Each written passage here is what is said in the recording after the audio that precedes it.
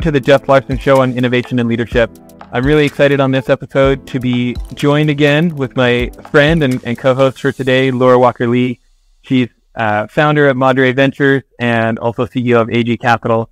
Uh, Laura, today's guest is pretty great, uh, but I'm going to let you do the honors here.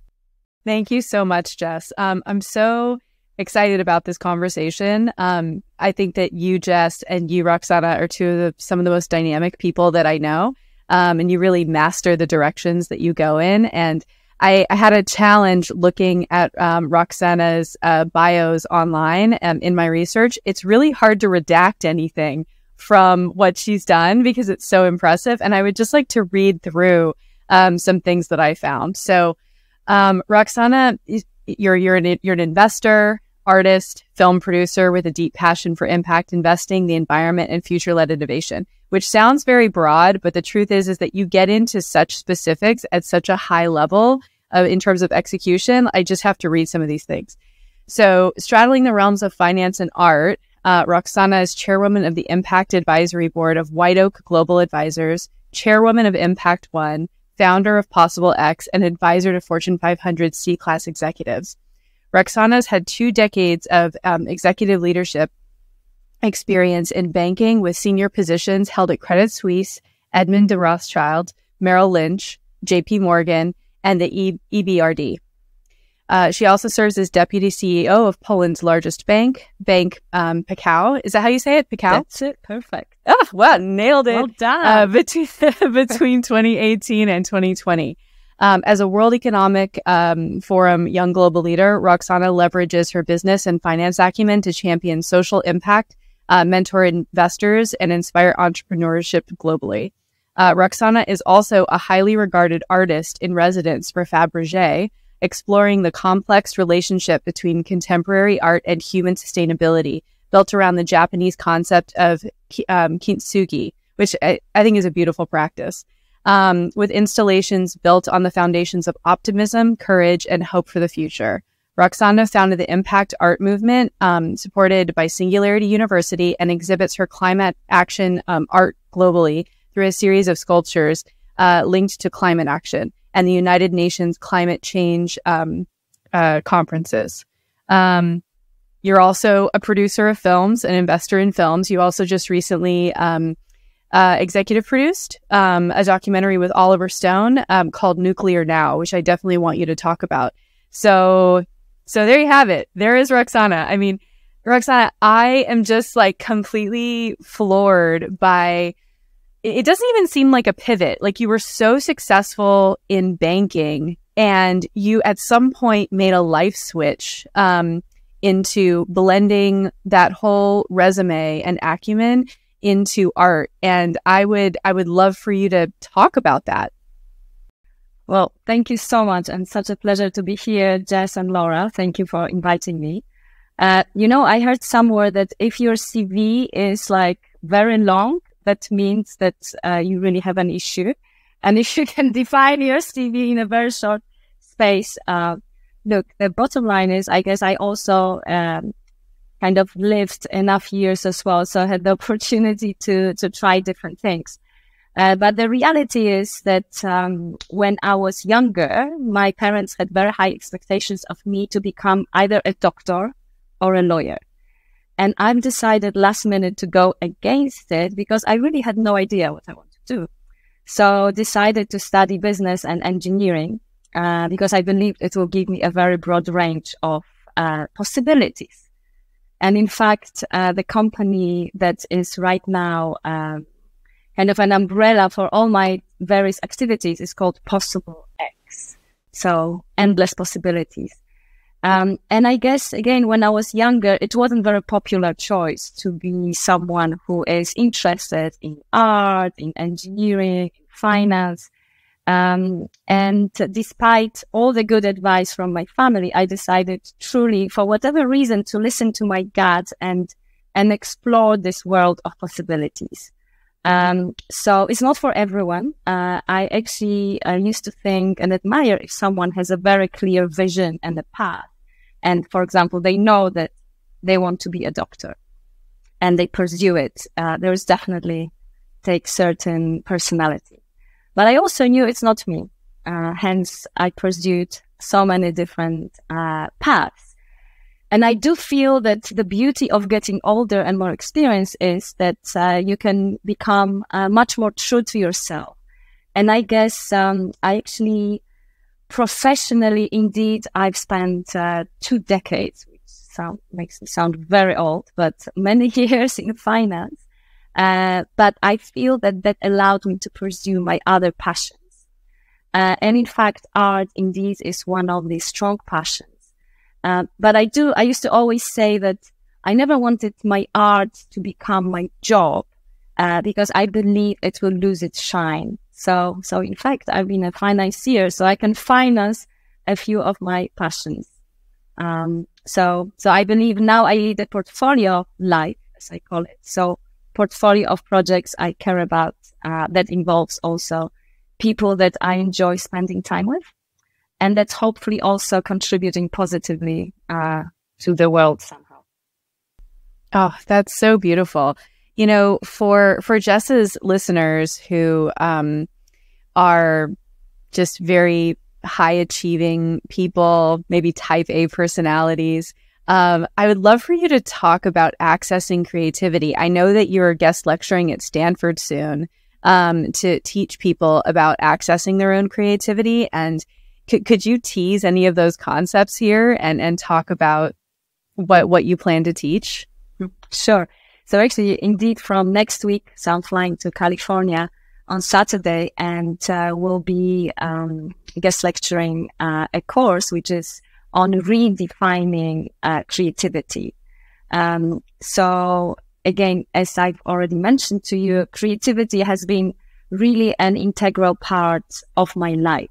I used to paint and draw. I moved into photography. Then I started experimenting actually in Vancouver. So we spoke with Jess before. I've got a little bit of a Canadian link as well. So uh, that's actually where I took a bit of a break from my financial career and I studied uh, photography and had my first exhibition was 20 years ago in Vancouver.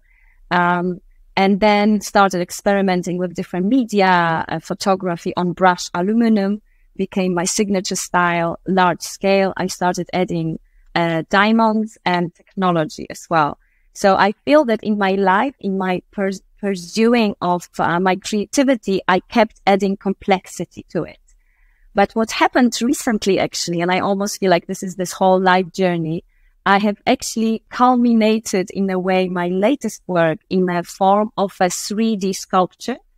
And it's a very simple, it's a, it's a re- uh, recycled stainless steel sphere that represents the world without borders. And as Laura mentioned, uh, I've been fascinated by the Japanese concept of kintsugi, golden repair. So when you break an object, let's say a plate, you can either discard it and it loses value, or you can actually piece it together with gold and the object becomes more beautiful for, for having been broken. The object becomes actually stronger. So it's such a beautiful metaphor for life, for us human beings as well going through experiences in life and being broken. Uh, but actually, these are our gold, golden scars we should embrace rather than hide them. So when I learned this concept, I truly had this aha moment. You know, like in life, we sometimes go through these aha moments. And that was definitely one of these. Um, I discovered this philosophy actually when in uh, Japan. Uh, so looking back now, uh, I've been um, teaching or I've been uh, doing some lectures on actually what can leaders learn from Picasso. Um, kind of catchy phrase, but how creativity is key to innovation and is the same process of going through different iterations. With the recent developments with AI and ChatGPT and what we can do now through Midjourney, I was just showing, trying to explain to my sons who have told me, by the way, that without the chat GPT, they probably wouldn't have passed the year. So they obviously have been very advanced in their use of ChatGPT. But in a way, what we can already do for creativity, uh, using AI, um, it really questions and puts us, redefines the way we think about it. So, so what, um, what, uh, in the, in the coming, coming up lectures about creativity, I still think there is a huge value of a human um, and human creativity, but we should not be afraid of understanding and augmenting and using uh, artificial intelligence wherever it can help us. And I don't know if any of you of the listeners have tried to use uh, even DALL-E or uh, any other AI um, already tools that are available. And when you start playing with it, and I would never forget that, uh, you know, before I would work with some designers and, uh, and it take, took a lot of money and many, you know, many hours. Uh, right now we have it at our fingertips. So actually this thinking, what does it mean for us, for humans? Where, where does it stop? Now, the, what in my, in some of the lectures I've been doing or talks, lecture sounds wrong. I think it's more of a talk, uh, an exchange because we are all learning all the time. Uh, many people, uh, especially when I was doing it to CEOs, uh, you know, I was on the board of the bank with seven men, very much all MBA trained, uh, kind of very much left brain. And none of them ever thought soft skill or creativity is any use to the bottom line of the, of the P&L of the company, which is not true. Uh, so I think I convinced some of them, but also a lot of them, they said, uh, lots of CEOs think I have no creativity. I cannot draw. I have no interest even. So uh, there's actually a very famous book that I, um, that I often quote and it's, uh, it's, the title is drawing on the right side of the brain and it's actually a course. So Jess is nodding. So it's, it's, you can, in five days, I can take anyone who thinks they can only draw a stick man. Uh, after five days, you'll be able to draw a sophisticated portrait. So it just shows that what we believe sometimes creativity is, so ability to draw, is actually a skill. It's, it's also a way of looking at objects and things. So, so that's, so never give up we are all creative. That is the, the truth. You just maybe didn't have the opportunity to tap into that. And I think now is the time to be tapping into this creativity uh, as soon as possible because that is the key. I have so much to say. Um, but Jess, I want to pass it to you for questions. You've been so polite letting me just ask Roksana questions so far. Um, you know, it, I really like a number of the philosophies you brought up there. Um, I'm probably going to take it a little more personal. Like I think about my life and when people ask me what I do, I get anxiety because it's too many things and I'm going to overwhelm them and they just want one answer. They, they want like this one thing to sum me up with. And I am totally going to plagiarize you on having a portfolio life. Like this is my new answer. I, am so excited. That's it. I was like, but, but Jess, I totally understand you because also I've realized when people ask you and you are in a conversation or you meet someone, I've learned over time to just get very simple because we all have that. We all want to be able to put someone in a certain box or a frame, whatever it is. So I, what I came up with was I'm a financier and an artist. Right? Like, which obviously I, if I would start telling and I do this because actually at the end of the day, these are all like to me, like the uh, part of my art, but also through movies. This is all creativity. So it could be many other things, but I totally understand and portfolio and not even portfolio career to me, because I think I used to think portfolio career, but career to me has got a certain, at least personally, um, because I believe, you know, like when we talk about work life balance, there's no work life balance. Let's face it. There's everything is, you know, work is part of life. And also this balance doesn't exist. It's getting close to the balance. But in fact, I've decided that to me, it's portfolio life. So what your life consists of. And, you know, and it changes as well. But the, the co- common theme to me is finance as a, I guess, background, what I've done, you know, as a profession and then all the other additional things. So, and they can. Well, I love that so much. I've I've been telling people on the business side. I I started telling people, um, oh, I I run a holding company that owns some businesses, and they can somehow understand that. They say, well, I own this company and this company and this company. you know, but I hadn't thought about it for like the whole life. So I'm, I'm definitely going to plagiarize you. Um, so I know there's so many things we, there's so many things that we could talk about. Um, maybe one that is extra interesting to me is it sounds like we both had, uh, lifelong, uh, love for the movie business, which, uh, Laura has huge amounts of experience in. When you think about things like financing this, uh, Oliver Stone documentary or, or the other movies you've been a part of, um, thinking about the mix here of, of your finance brain and, and your artistic interest, I'm interested in what that decision tree looks like for you when you're deciding where you're going to put hard earned dollars. Uh, you know, actually, in, in my specific case with, uh, because I know Laura actually truly can say she spent time in movies, I would say I've done two. So, so it's not really a, a huge sample. However, the reason in, in my case, it was very simple. The reason I got involved with both movies were purely, there was no tree. It was gut feeling. And the first one is called Battle for Britain. And it's actually, I'm Polish originally. So, um, very patriotic. It, it was about highlighting the role of Polish pilots in Battle of Britain.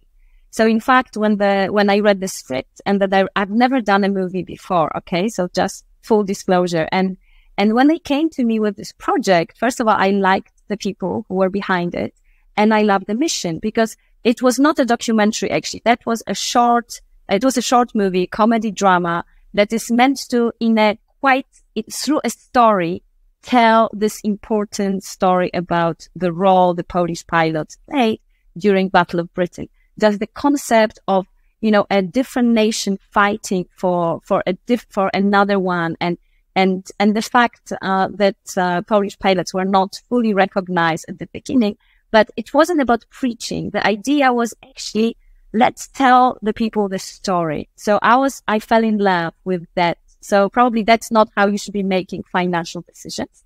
But I also knew, look, the risk is low. It's a very small budget because that the first one was a short movie.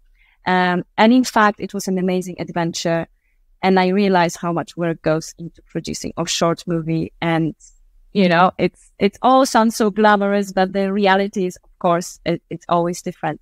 But it was, I was very proud and I'm still very proud of this project with uh, Oliver Stone, uh, with the nuclear now. Again, it's a very specific project. It's, it's again that the movie, the documentary is really a life mission for, for nuclear and to see his passion, the story he wants to tell about, um, something that, to be honest, I didn't have a very deep knowledge, or I thought I'm an engineer. I kind of understand. Um, now I had so many misconceptions about nuclear, nuclear power. And, uh, and in fact, when I learned about the, project originally through a producer, Fernando, um, I knew that it's based on a book by Professor Joshua Goldstein called Bright Future. So the first thing I did, I read the book and truly like the way the book is written, very in a really approachable, very straightforward way. Uh, and I was like, wow, I had so many misconceptions. I want to be part of that story. So it really was purely a gut feeling. Again, it's a documentary. It's not, you know, multi-million, uh, Hollywood production when you really are taking such huge risks. The risks were mitigated. I also knew that right now, uh, you know, because bottom line of, of the nuclear now is showing how nuclear is the only available scale green energy right now that technology we have and have had and uh, and is the solution to climate change and why we need to be of course not just nuclear but we should be pursuing all the other options we have but we have not much time and and once you, I would love you to watch the documentary. It's uh, it's been released in US. It's going to be released in um, in Europe. Uh, I also took it uh, and took Oliver to Davos at the World Economic Forum, and just to see the impact that the documentary had on on people. You know, the beauty of it also. It's a marriage, I call it, between professor who just thinks again, this kind of left and right brain comes into play of the professor who thinks figures and, and very tree-like organized. And, you know, here we've got Oliver Stone, who is, uh, you know, who is an amazing, legendary producer, sometimes controversial with this passion for telling the story. And imagine both of them working together. they had no idea what they are getting themselves into. They said both of that was the hardest project ever. It took much longer. They were, it, it was a nightmare on many levels. But I think what was created is something really magic, magical.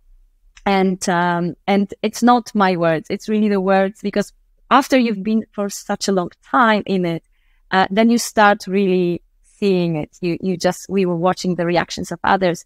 And I think the beauty, it speaks to a high school student can watch it and truly understand and, and a professor who is very deep in the subject. And we, we, we are quoting an, an nuclear influencer. There is just, look, it's not something that people will be rushing to the cinema for entertainment, but it's definitely very important uh, piece of work. And uh, and just seeing the feedback we are receiving is just extraordinary.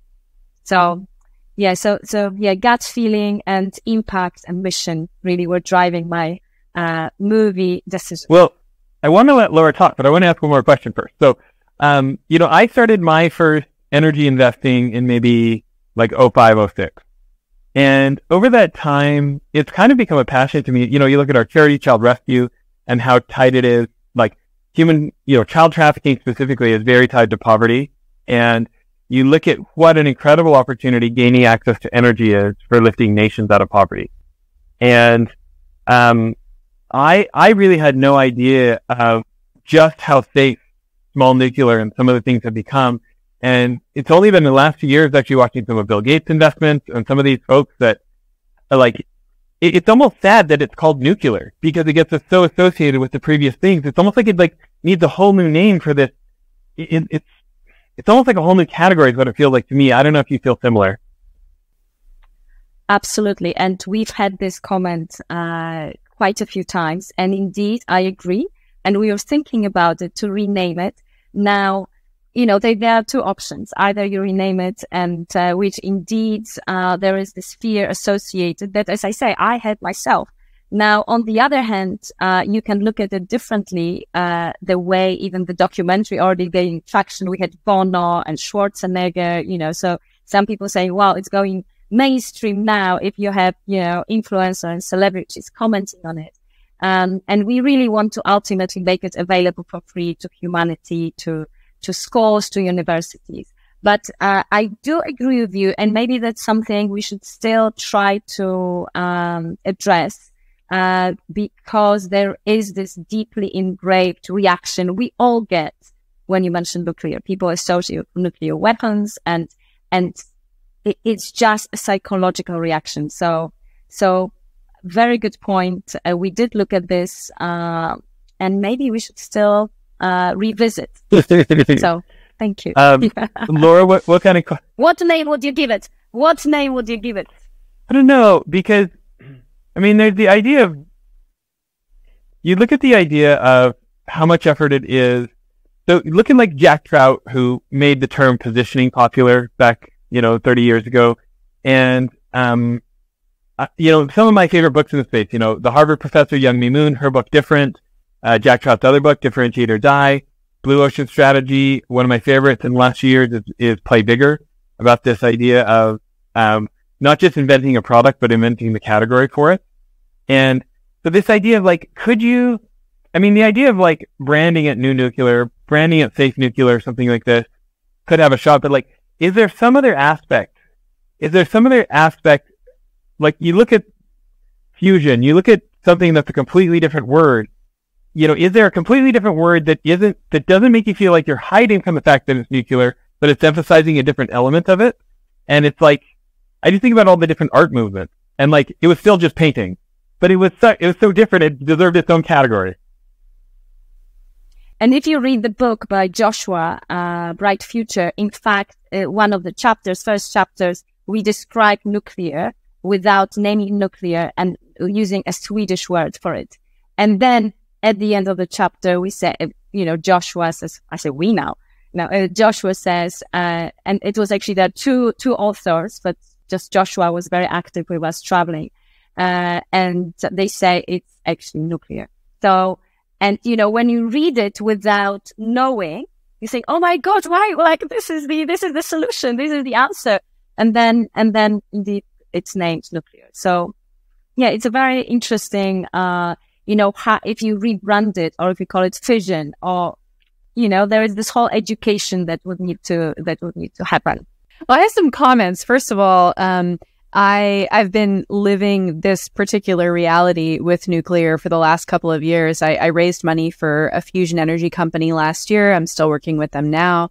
And um, I actually had to put a deck together that explained the difference between fission and fusion because the overarching assumption was like, well, fusion's going to blow up. That's actually not true. It's actually the safe version of it. And so I having a having a, an overarching narrative to the category, I think would really help. But I think that tools like films and things that will educate and inspire are really important. Like um, I, I, raised money for a senator in like the mid 2000 teens, and um, I would like host these events for for them to to raise money.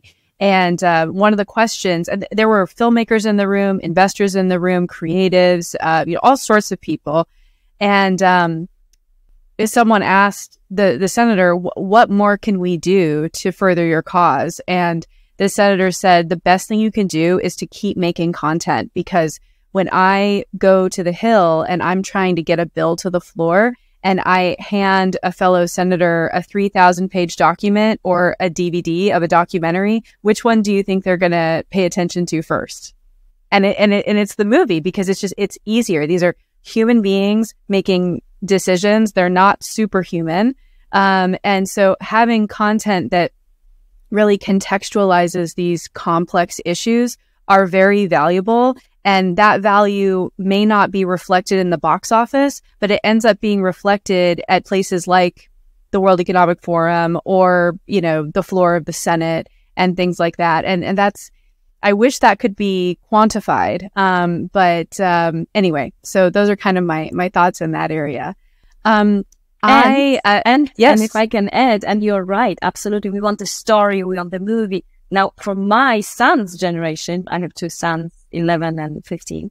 And all the, the, the way they consume, as we know, the, the, the content is TikTok. So, so in fact, we do have, I mentioned to Isabel, who is the influencer, and she has done, she had her, you know, she has her TikTok channel, which was, which is amazing. And, and I think it should address all the, all these different, uh, media for sure. Mm-hmm. That's, I, I totally, I, I could not agree more. And I have been trying to talk to my peers in film and television about how younger generations they they want co- faster content.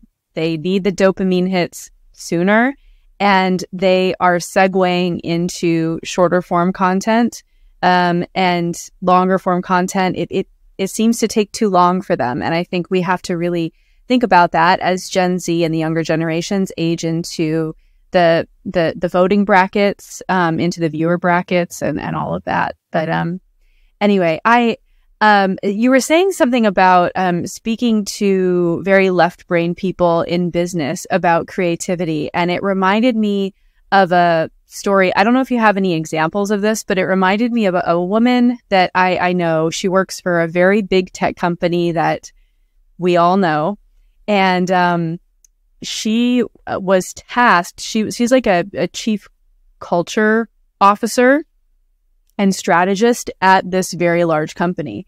And um, she, something that she figured out was that there were programmers and engineers who were working on projects far longer than they should have. And so she did something in the culture where she has like a, I don't know if you know what this is, but it's called Dia de los Muertos, which is like a Mexican holiday to commemorate, like com- commemorate the dead, give honor to them.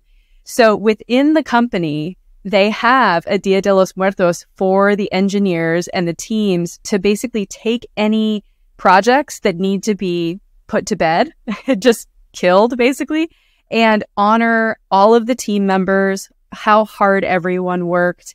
And they have this ceremony. Like I saw photos of people's with their faces painted uh, as, as though it was, it was a very interesting, creative, idea to actually affect P&L because then those people felt acknowledged and they could then move on to a new project instead of trying to justify an old one. And there's a direct correlation between creativity and P&L in that particular instance. And I'm wondering if if you have any other thoughts around creativity in the boardroom or um, at the C-suite level. So, so what you just described about the the kind of ritual, uh, it's been used in ancient cultures, and it's and it's really actually in psychology as well. Uh, it's often uh, utilized, uh, and indeed, it's a psychological process where you create certain ritual that is, um, and you know, you can, you know, it's quite popular actually in some of the psychology uh, therapies when you, let's say, do a closure to something, what you described, and you, let's say, write something and you take time and then you burn it. So, so actually, we need as human beings to process it, and uh, and it's actually very helpful. And I think what what I would say is that we got and little bit, I guess, what I've observed as well, carried away by is that, you know, in business, we are meant to be very serious. It's a very serious matter. There's no space for play or for fun because we are here, you know, working like, you know, for this listed massive company and we are here doing very important things.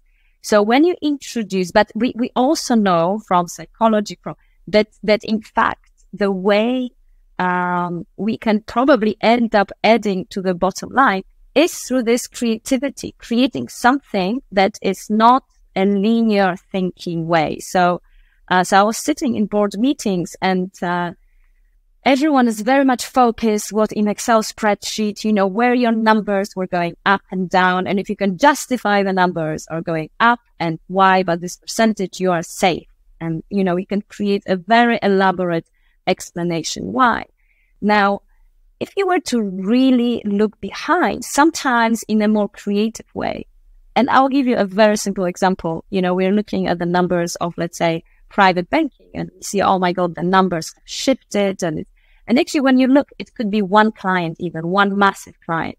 And as we know in private banking, actually, it takes at least 18 months, let's say on average to build relationship. And it's, it's, uh, it's, you cannot measure and you cannot manage uh, in a, especially that business human relation by looking at the straight line numbers and trying to justify. So, um, so actually introducing the curiosity, the play, the, the ability to look at a problem. You know, I, will never forget my first board meeting and, uh, I ended up with like three assistants. Like, why do I need three assistants? And you know, and then, and then I said, can you print out, you know, first time, first board meeting, print out uh, the documents I need to read for tomorrow? And she looks at me a little bit like hesitant and she said, we, well, we use iPads now, like, and we are saving the trees. I said, yes, I know, but the first time I really just want to be like, have it all printed because iPads don't work. I don't know. I just wanted to be extra prepared. And she says, okay. The next thing I, I see is like, she brings me this pile of documents and I'm like, I asked for just tomorrow. I said, no, no, no, that's for tomorrow. I'm like, okay. so, so it was shock. Uh, so, so that's, uh, one of the first hard lessons. I was like, okay, so how on earth I'm going to read all these documents, have an opinion and actually try to comprehend all these. Documents. Of course, it was a humane task. But anyway, unfortunately, uh, that was part, uh, part of uh, of the job description I haven't been given at that time. But luckily it wasn't every meeting like that. But, um, but actually, if you, if you go to this mode of left brain when you are like, okay, this is the serious stuff. This is what we are doing. But I remember because already when I, that was my last job in finance and I was already a bit older. It's all relative, but and it it wasn't I did, wasn't taking this job as like this is the most that's the, the important thing in the world. I actually was thinking, you know what? I actually didn't even want this job, to be honest. So, so it was a bit of a different attitude. Now, um, so I allowed myself a little bit of space to be myself. And in fact, what was interesting, I was a bit scared at the beginning. I said, Oh my God, they're going to think I'm completely either crazy or like, you know, but of course they knew, okay, I mean, she's been 20 years in finance. She worked for these big banks. You know, she is serious. She's got CFA, engineer. She's got all these titles. She can't be stupid. Right? So at least on paper. And um, and in fact, what I realized uh, after introducing the more play, creativity, and this artistic part of me, and the way of looking at uh, solving problems, in fact, I started, and I didn't realize it myself, to be honest. Um, it was more my intuition. I realized that people get out into their more of a creative zone, and actually, you can see issues and find solutions much quicker from a different side that that you just simply don't see when you're stuck in your kind of left brain linear thinking. And we know it at Stanford, the D school, you know, they start off, I don't know if you've ever experienced, you know, the, the process of, you know, I was taken through, through this course and, you know, you start jumping, becoming silly, uh, just moving your body and, and tapping into that flow. So I think at every boardroom, uh, we all uh, could benefit from having a bit more fun and playfulness and bringing is this kind of artistic mindset. And it will add to the bottom line. Oh, I, I so. couldn't agree more. I have, I have, one more comment to underscore what you're saying, and then I'll pass it back to Jess. Um, I, I, have a friend who coaches um, founders who have had big exits. They're looking for their next thing, or corporate leaders who are managing very large P&L and um, he he charges so much. I I don't think I could ever hire him. But I, I asked him. I said, "Give me one piece of advice that you give your clients." And he said, "Play." And I said, "What?" And he said, "If you introduce an element of fun and play into your everyday work with people, it's like a release valve for people in a very high pressure situation. It makes you unique. It takes the pressure off and people, they can actually free themselves up to be to think creatively when you introduce this element of play. So often leaders are very intimidating to the people who report to them. And so if, if you can introduce that element of some creativity or play, um, you you actually end up getting a lot more done and you close deals quicker and things like that. So it totally resonates with what you're saying. So thank you for just giving detail and color to all of that. Well, uh, okay, I want to go the other direction. We talked about movies. Let's talk about finance. Um, so largest bank in Poland. I think I saw maybe like 54 billion under management. Does that sound about right? Or am I off? Um, when you think of, when you think about what you did differently in your career, there's a lot of people that would like to be, you know, uh, deputy CEO of a 54 billion dollar institution. Okay. Um, and, and yet almost nobody makes it to that level. When you think about what's different about you or what you did different, um, what do you think that is? Look, I actually, uh, there's no one right answer. Everyone has a different journey. Now, what I definitely would say, and again, it wasn't the case actually in my particular one, but obviously there are two ways. Either you, you really are focused and you have a very clear vision. Some people do. I did not. Okay. So I'll just start with this. In fact, I've been meaning to leave finance I've spent this, as uh, Laura said, two decades, but I've been meaning to leave finance for like 10 years. Okay. So I was like, okay, the next one I'm going to leave, I'm going to create more time for me.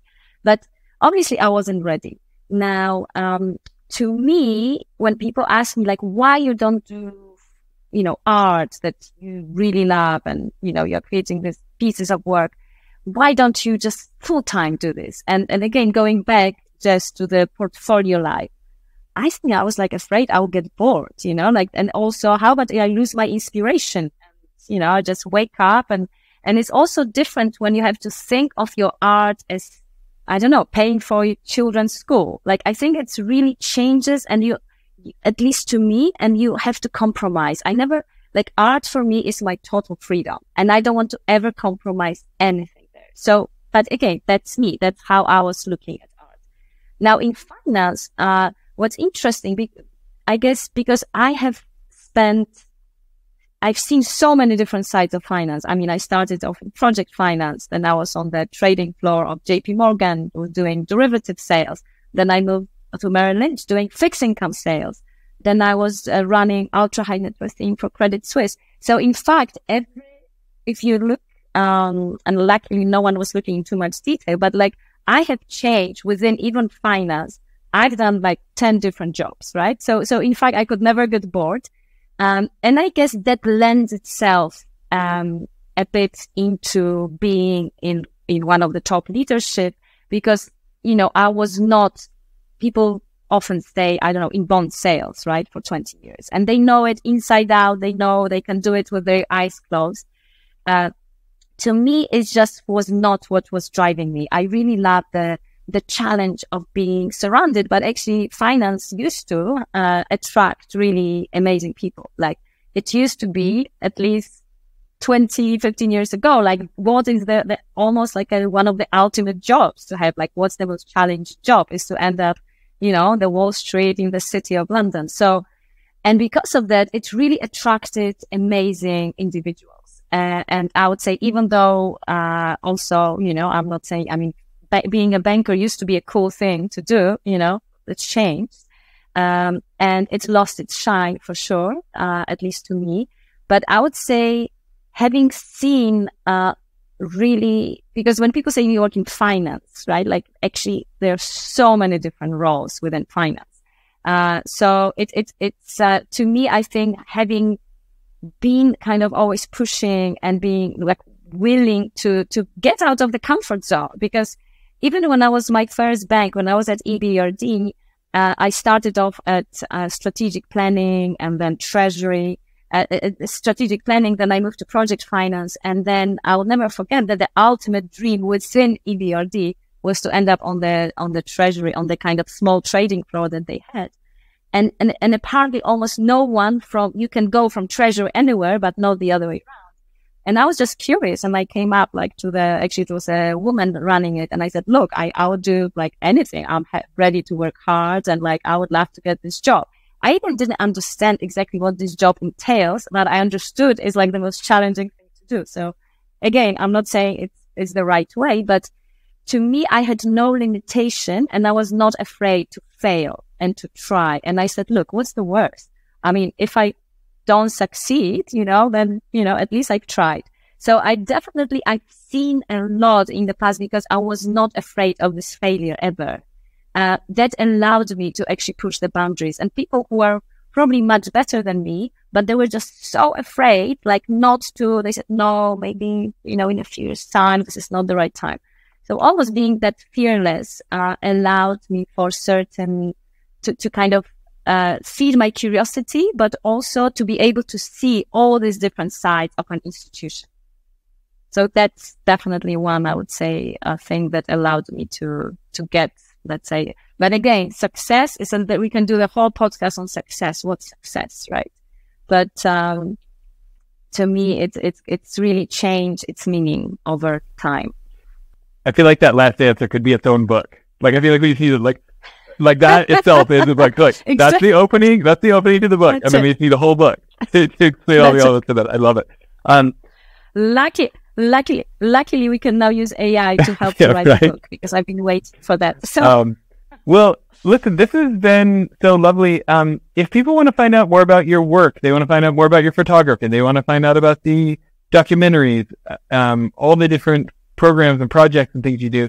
Where are some of the best places they can follow you or, or learn more?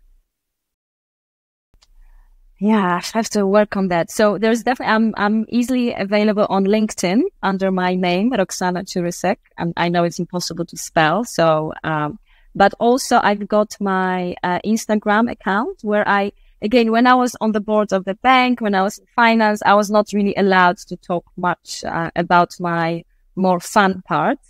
Uh, so I'm not a very active user, but I've got, again, I've got my Instagram, uh, as well, which is under my, my full name and uh, and just maybe uh, ChatGPT, Google. but I would say LinkedIn. LinkedIn probably has the has the the biggest amount of. Uh, I would say I actually did uh, take take time to try to reflect kind of things I've done. So. I would I would also encourage people to um, Google Roksana's sculptures. What is the name of the sculpture that has traveled all around the world? Aurea. So it's uh, Aurea Kintsugi is actually on Instagram and uh, it's uh, right now actually at Sudeley Castle.